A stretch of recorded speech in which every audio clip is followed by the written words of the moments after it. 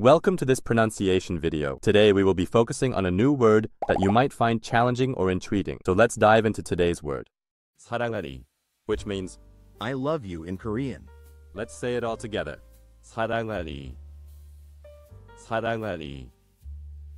사랑하리. One more time. 사랑하리. 사랑하리.